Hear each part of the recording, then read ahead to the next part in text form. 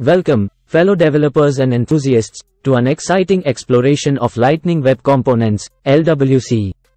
In today's session, we embark on a journey through advanced concepts, best practices, and real-world applications of LWC. From optimizing performance to implementing drag-and-drop functionality, we'll delve into the intricacies of LWC development, equipping you with the knowledge and skills to build dynamic and responsive web applications. So, buckle up and get ready to elevate your LWC expertise to new heights. Before we take our first question, subscribe to LongSwitch Academy to learn and grow with us. Let's jump in.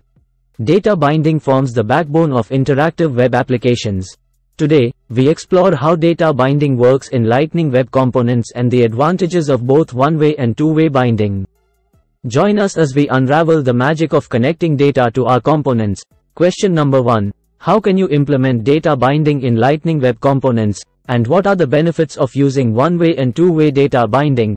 The best answer for this question would be, data binding in LWC allows you to establish a connection between the component's JavaScript properties and the HTML template, ensuring that changes in one are reflected in the other. One-way binding updates the user interface when the data changes, while two-way binding also updates the data when the user interface changes, if the interviewer asks about a practical use case then you can use the following example, consider a form submission component. One-way data binding ensures that user inputs are immediately reflected in the user interface, while two-way binding allows the component to capture and update the form data based on user interactions. Organizing your code base effectively is key to maintaining a scalable and maintainable project. Today, we explore best practices for structuring and organizing Lightning Web components in your project, with a focus on how a modular approach can streamline development workflows. Question number 2. What are the best practices for structuring and organizing Lightning Web components in a project, and how can a modular approach enhance development efficiency? The best answer for this question would be, Best practices for organizing LWC projects include grouping components by functionality, separating concerns into smaller modules, and following naming conventions for consistency. Adopting a modular approach allows developers to focus on individual components, promoting code reusability and easier collaboration. This can be useful in an e-commerce application, organizing Lightning Web components into modules for product catalog, shopping cart, and checkout process enhances development efficiency by allowing developers to work on specific features independently, reducing merge conflicts and facilitating code reviews. Single-page applications offer a seamless and fluid user experience by dynamically updating content without page reloads. Today, we explore how to implement client-side routing in Lightning Web Components to create single-page applications and discuss the benefits of this approach for modern web applications. Question number 3. How can you implement client-side routing in Lightning Web Components to create single-page applications? And what are the advantages of single-page applications for user experience? The best way to answer this question would be, client-side routing in LWC involves using a router library, such as Lightning Router or React Router, to manage navigation within the application without server round trips. Single-page applications provide faster navigation, smoother transitions, and better performance by loading only the necessary resources. Let's see a practical use case for the advantage of single-page applications in Lightning Web Components. In a project management tool, implementing client-side routing allows users to navigate between different views, such as project dashboard, task lists, and calendar, without experiencing page reloads, providing a seamless and uninterrupted workflow. Breaking the boundaries of Salesforce, the Lightning Web Components open source framework empowers developers to build applications beyond the Salesforce ecosystem. Today, we explore the capabilities of LWC open source framework and how it fosters innovation in web development. Let's move on to question number 4. What is the role of the Lightning Web Components open source framework, and how does it enable developers to build applications outside of the Salesforce ecosystem? You can answer it as follows. The Lightning Web Components open source framework allows developers to build web applications using the same Lightning programming model and components outside of Salesforce. It provides a lightweight, modern framework for building fast and efficient applications with a focus on reusability and performance. If I have to highlight one practical use case then we can consider a startup environment, Leveraging LWC open source framework allows developers to rapidly prototype and build web applications with familiar tools and components, reducing time to market and enabling seamless integration with existing systems or third-party services.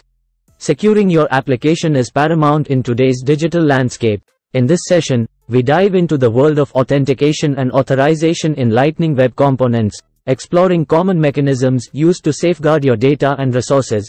Question number 5. How can you implement authentication and authorization in Lightning Web Components, and what are the common authentication mechanisms used in web applications? The possible answer for this question can go like this. Implementing authentication involves verifying the identity of users, while authorization determines what actions users are allowed to perform based on their roles or permissions. Common authentication mechanisms include username, password, OAuth, and SAML, each offering varying levels of security and flexibility. To understand the significance of authorization and authentication let's consider the example of a healthcare application. In a healthcare application, implementing OAuth authentication allows users to securely log in using their existing credentials from trusted identity providers, ensuring compliance with industry regulations and protecting sensitive patient data from unauthorized access. Before we move forward in this video, I wanted to pause and ask, do you have any questions, suggestions or doubts? If yes, then please feel free to use the comment section to dump your questions, suggestions or comments. We will try to respond to them at the earliest. Thank you for your patience with us and watching the video till this point. Without wasting a second, let's jump on the remaining questions. Reusability is the cornerstone of efficient development. Today, we explore the power of Lightning Web Components services in encapsulating reusable logic and functionality, empowering developers to build modular and maintainable applications. Question number 6.